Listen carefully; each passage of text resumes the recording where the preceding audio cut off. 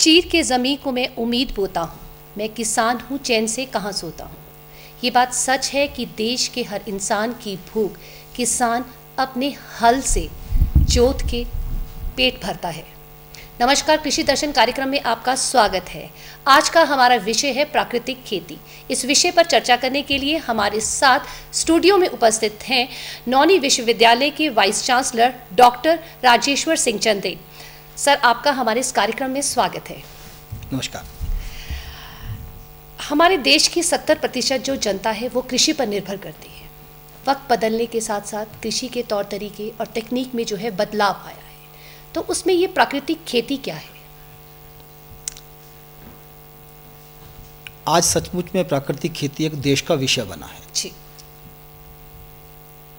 हमारा किसान जहाँ सत्तर प्रतिशत कुल आबादी का सत्तर प्रतिशत से ज़्यादा किसान है वहाँ इससे भी जो आवश्यक है जानना ये ज़रूरी है कि सत्तर प्रतिशत से ऊपर का जो किसान है वो छोटा किसान है मध्यम किसान है जिसकी खेती बहुत छोटी है। जी।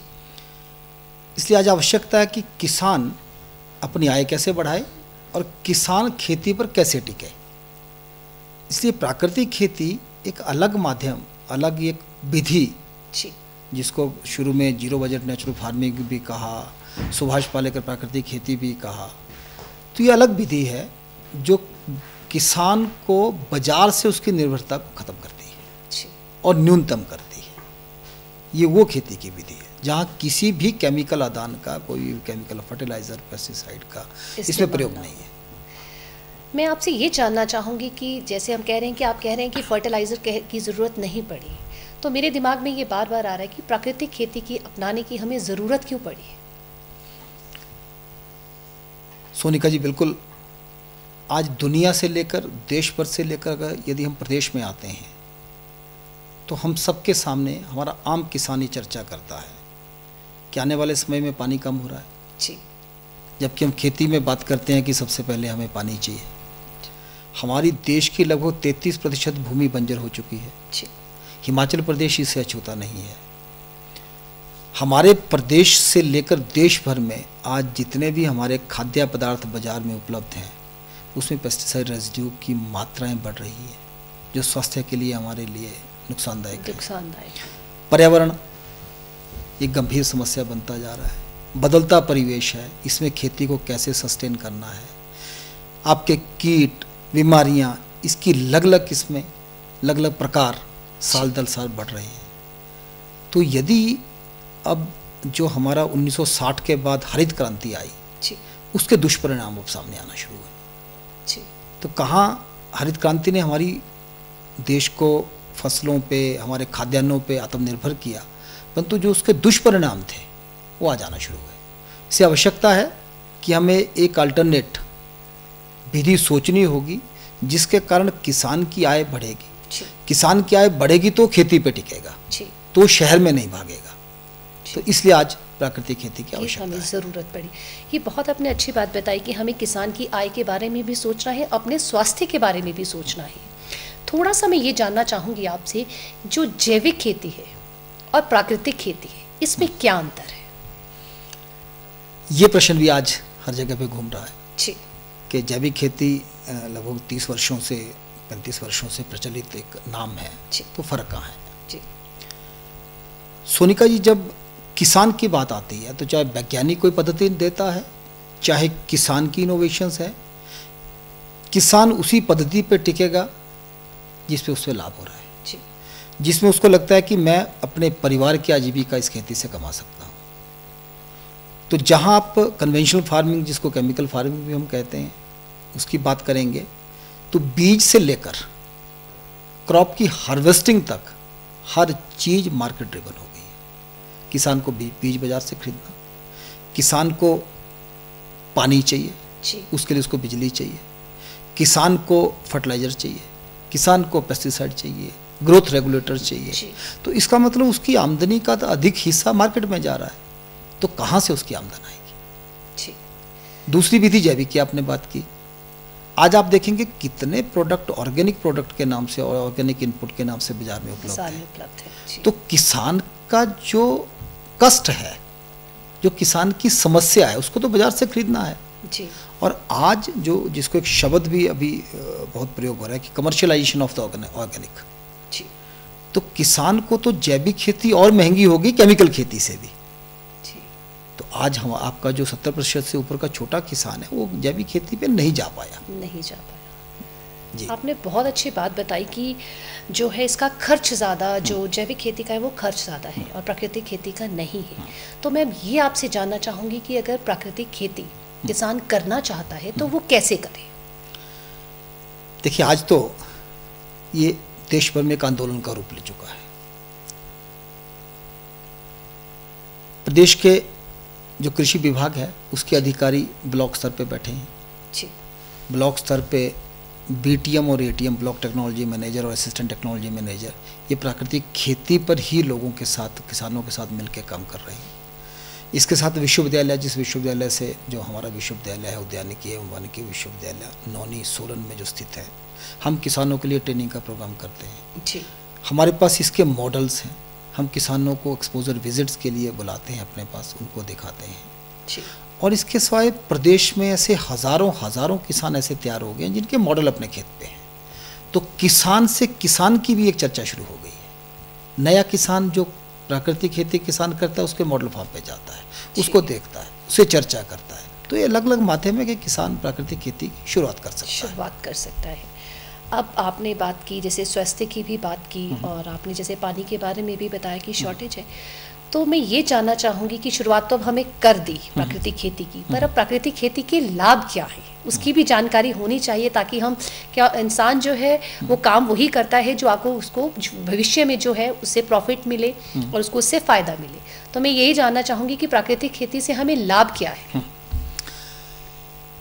देखिए एक जो कहावत है कि भूखे भजन ना होए गोपाला। जी चाहे पर्यावरण दूषित हो रहा है पानी खराब हो रहा है हमारे स्वास्थ्य पे नुकसान हो रहा है ये सब चीज़ों का सोचने का समय किसान को तब मिलेगा जब उसको पहले आर्थिक लाभ होगा। जी उसके घर का खर्चा उसका घर जी एक अच्छे घर की तरह खेती से चलेगा। जी तो पहला तो यह कि उसकी आय कैसे बढ़े। दूसरा हिमाचल प्रदेश का एक मैं छोटा सा डेटा आपके सामने रखूँगा दो हमारे सेब के जो बड़े ज़िले हैं जहाँ पे सेब का बड़े स्तर पे उत्पादन होता है उन जिलों से एक अध्ययन हुआ है।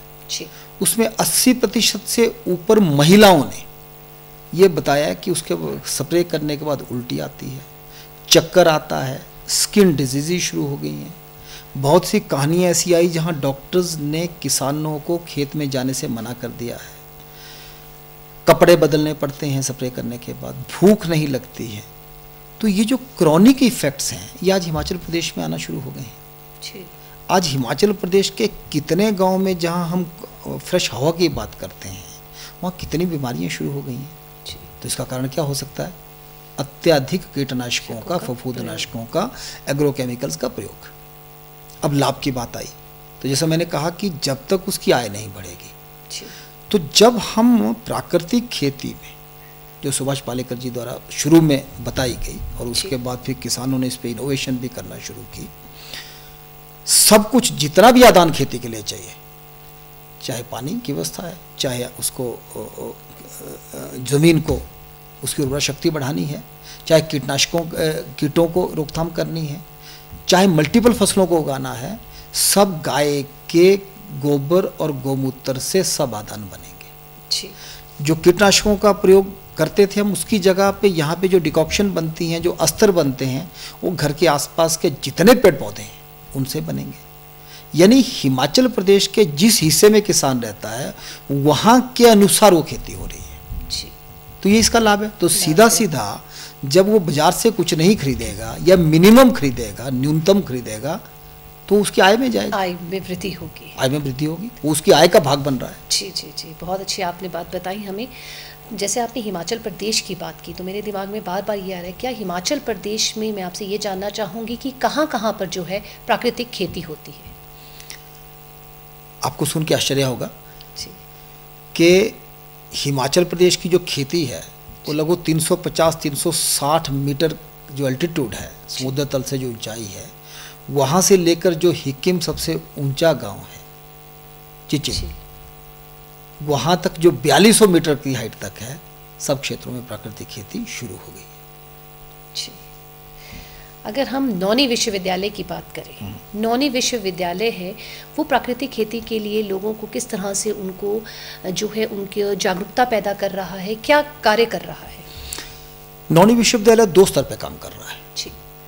तो पहला काम तो है कि किसान को कैसे इसमें ट्रेनिंग दी जाए और किसान को जो प्राकृतिक खेती के सही मॉडल हैं वो खेत में कैसे दिखाए जाए? वो हमारे पास मॉडल उपलब्ध है। अलग अलग जो खेती जो प्रणालियाँ हैं चाहे सेब आधारित हो सब्ज़ी आधारित हो ये हमारे पास उपलब्ध है। किसान आते हैं हम उनको उनको दिखाते हैं और वहाँ चर्चा करते हैं। ये पहला हमारा तरीका काम करने का दूसरा अभी नौणी विश्वविद्यालय को एक बड़ा काम मिला है। देश भर के कृषि विज्ञान केंद्रों को एक दायित्व मिला है कि वो हर कृषि विज्ञान केंद्र प्राकृतिक खेती पे काम करेगा किसानों के साथ। जी। तो नौणी विश्वविद्यालय का जो दायित्व है कि जितने भी कृषि विज्ञान केंद्र हैं खासकर जो हिमालयन जोन के हैं जो जम्मू कश्मीर से लेकर अरुणाचल प्रदेश तक हैं इनके वैज्ञानिकों को ट्रेनिंग देना। जी। ताकि इनके वैज्ञानिक ट्रेनिंग लेंगे तो कृषि विज्ञान केंद्रों में अपने अपनी जगह जाके फिर वो किसानों को ट्रेनिंग देंगे। तो दो स्तर पे काम करना शुरू किया है और इसका जो अलग अलग फ़सलों की उगाने की विधि है जो पैकेज ऑफ़ प्रैक्टिस जिसको कहते हैं वो विश्वविद्यालय तैयार कर रहा है। जी। अब जो किसान जिन्होंने जैविक खेती जो है केमिकल खेती शुरू कर दी थी अब वो प्राकृतिक खेती करना चाहते हैं। तो वो प्राकृतिक खेती क्या एकदम कर सकते हैं या उसके लिए उनको कितना समय लगेगा? थोड़ा सा इसके बारे में हमें बताइए। देखिए ये भी एक जैविक खेती का एक ना प्रचलित होने का कारण रहा। कि जिस किसान को जैविक खेती करनी थी उसको बताया गया कि उसको तीन साल तक उसकी जो फ़सल है वो कमी आएगी। जी। तो तीन साल तक कौन किसान इंतज़ार करेगा? इंतज़ार कर सकता है। प्राकृतिक खेती में क्योंकि प्राकृतिक खेती एक विधि है। ये विज्ञान है। ये जहाँ पारंपरिक ज्ञान है उसके साथ साथ ये एक आधुनिक विज्ञान भी है। जी। प्राकृतिक खेती में हम भूमि की जो प्रक्रियाएँ हैं कैसे जीवाणु बढ़ेगा? क्योंकि भूमि को अपने माता कहा। तो प्रश्न आता माता क्यों कहा? कहा। जी। विदेशी भाषा में तो इसको एक भूमि का टुकड़ा है। जी। हमने इसको मांगा तो हमने ये माना कि ये एक जीवंत भूमि है। जी। इसमें करोड़ों करोड़ों जीवाणु काम करते हैं। तो जब हम लगातार पेस्टिसाइड का छिड़काव करते थे तो जीवाणु मरता था। जी। तो जब जीवाणु मरता था तो जो भूमि की प्रक्रियाएँ थी वो बंद होती थी। कैंचुओं ने काम करना बंद कर दिया। कैंचुआ ऊपर से नीचे ज़मीन में जाएगा तो टनल बनाएगा फिर ऊपर वापस आएगा। ऐसी अपनी ज़िंदगी में वो हज़ारों हज़ारों टनल बनाता है। जी। वर्षा होती थी तो पानी उन टनल के माध्यम से ज़मीन में चला जाता में जाता था। जब गर्मी होती थी तो कैपिलरी एक्शन से जिसको केशाकरण शक्ति बोलते हैं जी। उससे पानी ऊपर आता था जड़ों को उपलब्ध हो जाता था। वो बंद हुआ। लगातार हमने फर्टिलाइज़र का प्रयोग किया तो भूमि की जो निचली सतह थी चार फुट पाँच फुट के नीचे उसमें एक हार्ड लेयर बनना शुरू हो गई। उसने ऊपर के भाग को निचले भाग को लग कर दिया। लग कर दिया। अभी आप देखते होंगे वर्षा होती है। दस मिनट में खूब पानी आएगा सड़कें भरेंगी। नदी आएगी उसके आधे घंटे एक घंटे के बाद सामान्य स्थिति हो जाएगी। तो ये धीरे धीरे परिस्थितियाँ आई। तो इस विधि से जो ज़मीन की विधियाँ थी जीवाणु काम करेगा जीवाणु क्या करेगा? कैंचुआ नीचे से भोजन को ऊपर लाएगा। जीवाणु उस भोजन को पौधे की उस अवस्था में बदलेगा जिस अवस्था में पौधे को भोजन चाहिए। जी। और पौधा उस भोजन को उठाएगा। जी।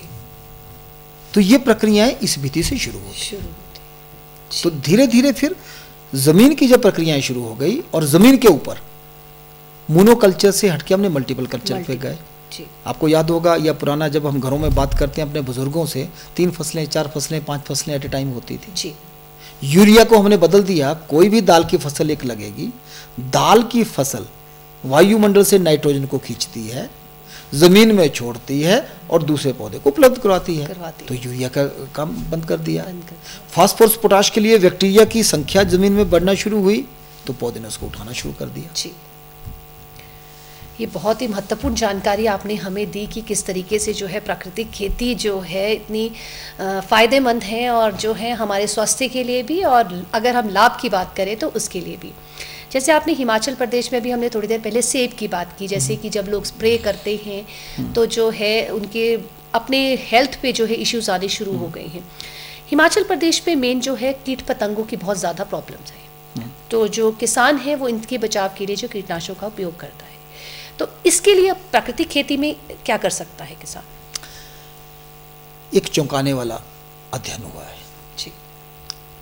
जिसमें प्रदेश में जो खाद्य पदार्थ हैं उसमें कीटनाशक अवशेष बाकी देश भर के अवशेषों से ज़्यादा मिल रहे हैं। जी। इसका मतलब हमारा प्रयोग यहाँ पर ज़्यादा है।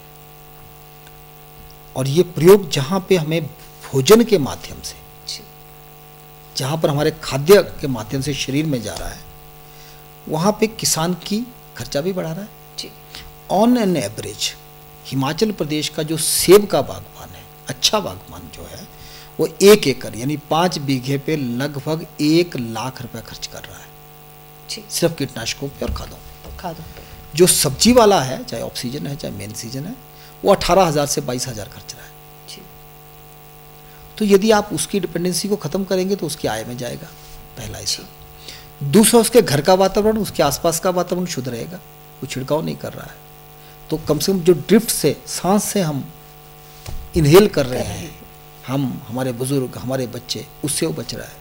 पानी दूषित नहीं हो रहा है क्योंकि कीटनाशक जब हम छिड़काव करते हैं तो एक या दो प्रतिशत पत्ते पर रहता है, बाकी सब ज़मीन में जाता है। ज़मीन से जाके वो भूजल में जाता है। भूजल से हमारे घास में आता है। जी। हमारे अपने शरीर में जाता है तो पशु के माध्यम से दूध के माध्यम से जी। अलग अलग तरीकों से हमारे शरीर में जा रहा है तो हम स्वास्थ्य को भी ठीक कर रहे हैं। तीसरा एक और बड़ा विषय मैं आपके सामने रखना चाहता हूँ। अगर नेशनल फैमिली हेल्थ सर्वे आप उन- 2019 को पढ़ेंगे जी।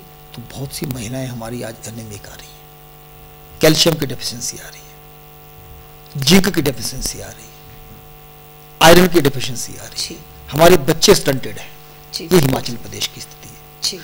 और ये उस प्रदेश की स्थिति है जिसको हम अच्छा प्रदेश मानते हैं। जहाँ पे वातावरण बहुत ही अच्छा है। वातावरण अच्छा है लैंडलेस नहीं है। तीन समय हम भोजन करने वाले लोग हैं। तो दिक्कतें कहाँ आ रही?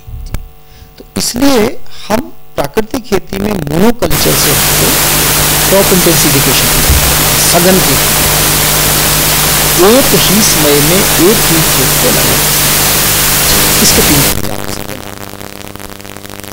पहला लाभ होगा कि पूरा खेत ढक जाएगा जब ढकेगा तो ज़मीन से जो पानी होगा नमी है वो उड़ जाएगा धूप से दूर दूसरा जितना भी हम मल्टीपल इसमें लगाएँगे वो बैक्टीरिया की एक्टिविटी को ट्रिगर बढ़ाता है। तो अलग अलग किस्म का जो जीवाणु है वो ज़मीन में काम करना शुरू करता है। अगला लाभ क्या होगा? किसान का जो रिस्क है। जैसे आपने सुना होगा टमाटर की रुपये बिका गोभी दो रुपये बिकी तो मोनोकल्चर से हटके हम मुख्य फ़सल को साठ प्रतिशत लाते हैं। चालीस प्रतिशत में तीन चार फ़सलें लगाते हैं। तो किसान को किसी ना किसी फस, एक तो अलग अलग समय में तैयार होंगी। जी। उनका राइपनिंग का टाइम अलग अलग होगा। तो किसान को 30-35 दिन के बाद लगाने के बाद कुछ ना कुछ मिलना शुरू हो जाएगा। तो उसका रिस्क घटेगा। बिल्कुल।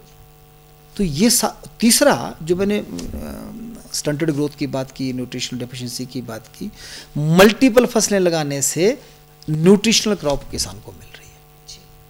तो घर के लिए भी वो जो न्यूट्रिशनल डेफिशिएंसी आज हो रही है उसको भी पूरा कर रहा है। जी बहुत ही अच्छा आपने बताया हमें। अगर हम बात करें जो हमारा अन्नदाता है वो दिन रात मेहनत करता है।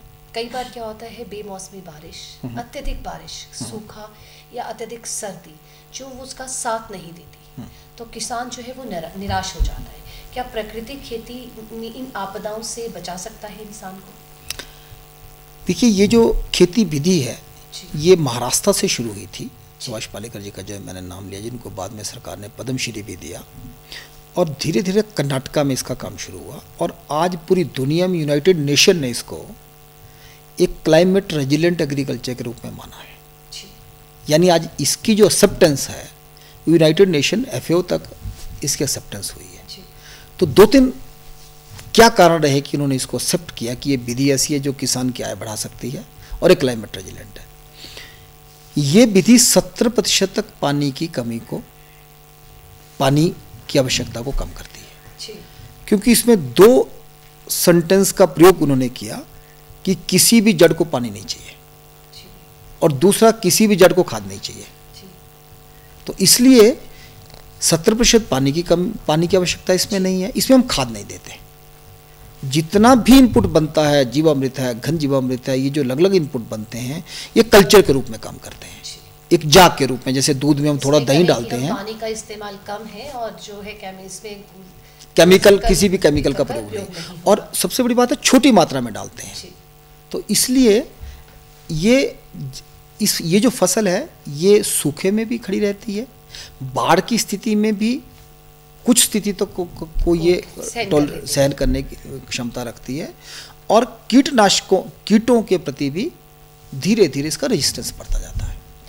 डॉक्टर राजेश्वर सिंह चंदेल जी आप हमारे इस कार्यक्रम में आए आपने हमें इतनी महत्वपूर्ण जानकारी दी। मैं चाहती हूँ कि थोड़ा सा आप हमारे दर्शकों को सूक्ष्म सा एक संदेश दें। मैं अपने सभी किसान सभी साथियों से एक निवेदन करना चाहूँगा कि हिमाचल प्रदेश की 3615 पंचायतें हैं और आज 3615 पंचायतों में ही प्राकृतिक खेती का काम शुरू हो गया है। आप अपने आसपास किसान ढूंढिए प्राकृतिक खेती किसान कौन कर रहा है। उसके खेत में जाइए, उससे चर्चा करिए और निश्चित रूप से आपको लगेगा कि वो बिना कुछ डाले बाज़ार से खरीदे, वो सफलतापूर्वक खेती कर रहा है और आपको प्रेरित करेगा। ये मेरा आपसे निवेदन है। और विश्वविद्यालय में भी आप आएँगे तो हम विश्वविद्यालय में भी आपको इसमें पूरा सहयोग करेंगे और दिखाने की कोशिश करेंगे। किसान देश की नींव है। देश की नींव मज़बूत होगी तो हमारा देश मज़बूत होगा। इसीलिए हम सब का कर्तव्य बनता है कि हम जो है अपने किसान को मज़बूत बनाएँ और देश को समृद्ध बनाएँ। आशा करती हूँ आज का कार्यक्रम अच्छा लगा होगा। नमस्कार।